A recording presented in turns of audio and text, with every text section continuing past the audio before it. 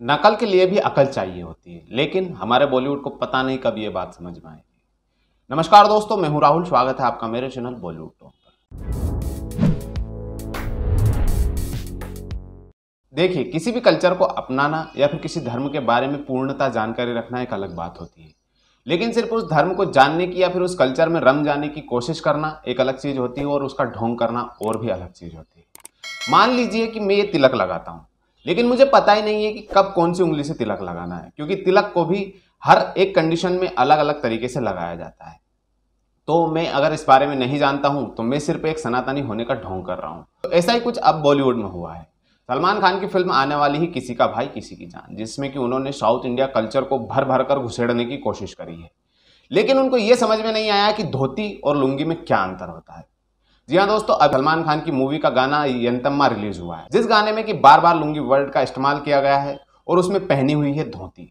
इस गाने में उनके साथ में दग्गुपति वेंकटेश और रामचरण ने भी डांस किया तो ये चीज़ तो समझ में आती है कि सलमान खान के मन में अब ये डर बैठ चुका हो है कि सिर्फ़ मेरे दम पर, मेरी फ़िल्म को पेन इंडिया नहीं चलाया जा सकता, इसलिए उन्होंने इस फ़िल्म में साउथ इंडिया के कलाकारों को भर भर के लिया है और पूरा एक हिस्सा फ़िल्म का साउथ इंडिया में शूट करने की कोशिश की। उसी हिस्से में ये गाना दिखाया जाएगा। तो चलिए हम भी जान लेते हैं कि सलमान खान ने और क्या कुछ गलतियाँ की है इस मूवी से और हम इस मूवी से क्या उम्मीदें रख सकते हैं। कहा जाता है कि नकल के लिए भी अकल चाहिए होती, लेकिन लंबे समय से कॉपी के कंटेंट के भरोसे, अपना कारोबार करने वाली हिंदी फ़िल्म इंडस्ट्री को शायद ये बात समझ में नहीं आ रही है कि अब वक्त पूरी तरह से बदल चुका है।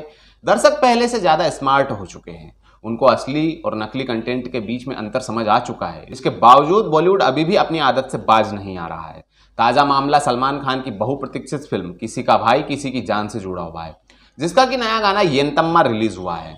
इसमें सलमान खान के साथ में साउथ के दो सितारे, दग्गुपति वेंकटेश और रामचरण को डांस करते हुए देखा जा सकता है। इस फ़िल्म की पेन इंडिया अपील बढ़ाने के लिए सलमान खान ने इसमें साउथ के क्लेवर को रखा है।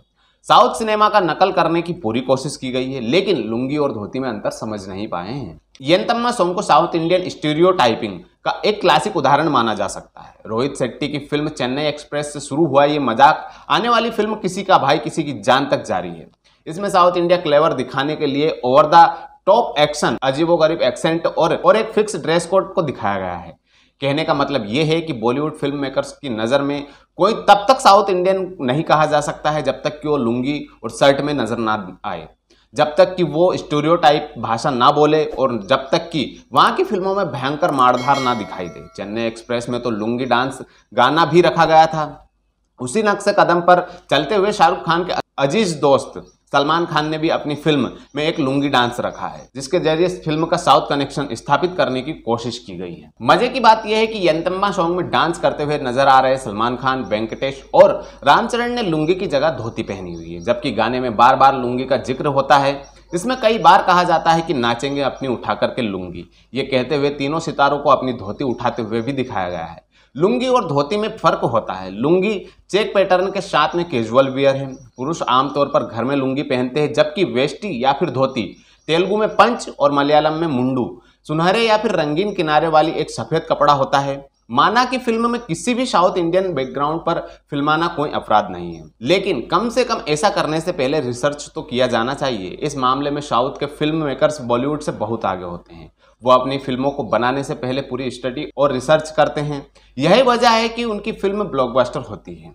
वैसे सलमान खान ने अपनी होम प्रोडक्शन के बैनर तले बन रही फ़िल्म किसी का भाई, किसी की जान की पेन इंडिया अपील बढ़ाने के लिए कई सारे प्रयोग किए हैं, जो कि ज़्यादातर साउथ की फ़िल्मों में देखने को मिलते हैं। उदाहरण के लिए इसमें बॉलीवुड के साथ साउथ के कलाकारों को कास्ट किया गया है। फ़िल्म में सलमान खान के साथ में वेंकटेश दग्गुपति पूजा हेगड़े जगपति बाबू भूमिका चावला विजेंद्र सिंह अभिमन्यु सिंह राघव जुयाल सिद्धार्थ निगम जस्सी गिल शहनाज गिल पलक तिवारी और विनाली भटनागर जैसे कलाकार अहम भूमिका में हैं।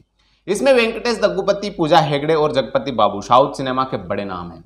इसमें सा, इसके साथ ही फ़िल्म की कहानी का एक हिस्सा साउथ इंडिया में फिल्माया गया है जिससे जुड़ा गाना येनतम्मा रिलीज़ किया गया है। इसके साथ ही फ़िल्म में ज़बरदस्त एक्शन सीक्वेंस देखने को मिलने वाला है जो कि साउथ सिनेमा की यूएसपी माना जाता है। शाहरुख खान की ब्लॉकबस्टर फ़िल्म पठान के साथ ही सलमान खान की फ़िल्म किसी का भाई किसी की जान का सिनेमाघर में टीजर रिलीज़ किया गया था।